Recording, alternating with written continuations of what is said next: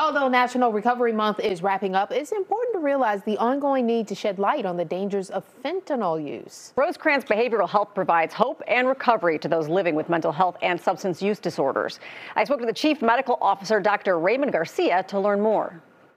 Rosecrance is a behavioral health company that offers comprehensive treatment for substance use disorders and mental health issues. We provide a full range of services, including uh, residential treatment, outpatient treatment, as well as recovery homes, sober living environments. I would imagine that this is something you have to do together, mental health and substance abuse Absolutely. disorders. Otherwise, if you can't just solve one problem. Absolutely. At least 50% of people with substance use disorders have a co-occurring mental health issue. And uh, the converse is also true. About 50% of people with mental health issues have co-occurring substance use disorders. So they really go hand in hand. Yeah, so you're really treating the whole person. Okay, mm-hmm. we were talking a little bit before about fentanyl. Fentanyl out there. It, why, why is it so dangerous and why is it creeped crept into drugs out on in the streets? Right.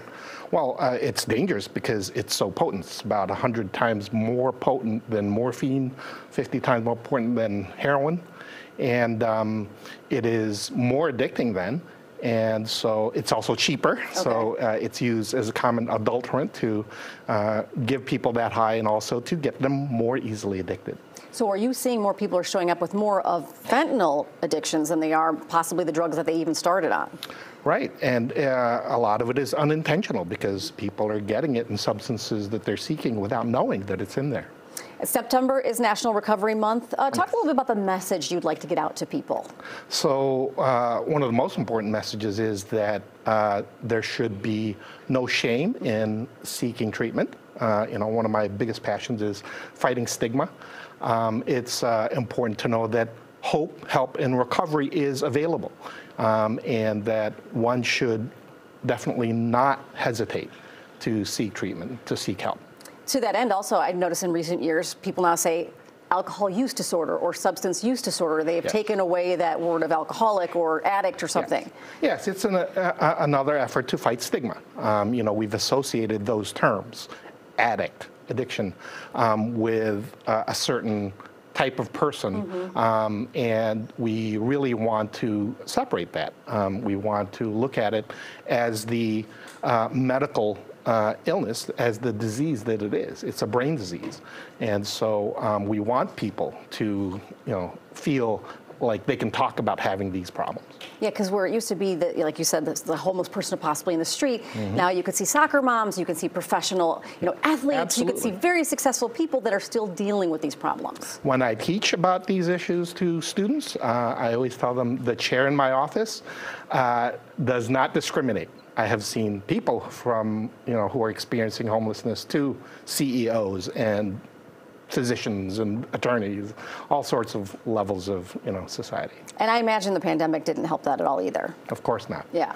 Of course not. I mean, you know, people were looking for other ways to, you know, to experience life, including to feel that reward. And unfortunately, substance use uh, was one of those ways. Um, people were bored. you yeah. know, people yeah. were having, uh, you know, wine uh, Zoom meetings and parties, things like that. And then it gets out of hand. Yes. What's the first step to uh, getting help?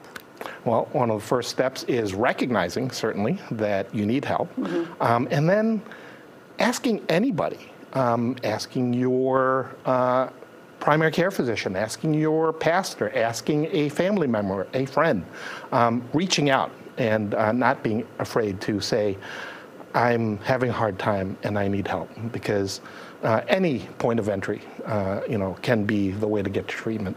And I imagine with Rosecrance, they could come to you and you can help evaluate whether inpatient, outpatient, what kind of treatment is needed. Absolutely. That's one of the first steps that we take is to determine what level of care do you need. You know, is it going to be counseling? Is it going to be a residential treatment center? Is it intensive outpatient?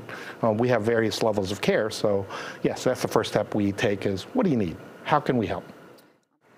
For more information about Rosecrance Behavioral Health, scan the QR code on your screen. You can also give them a call or visit rosecrance.org.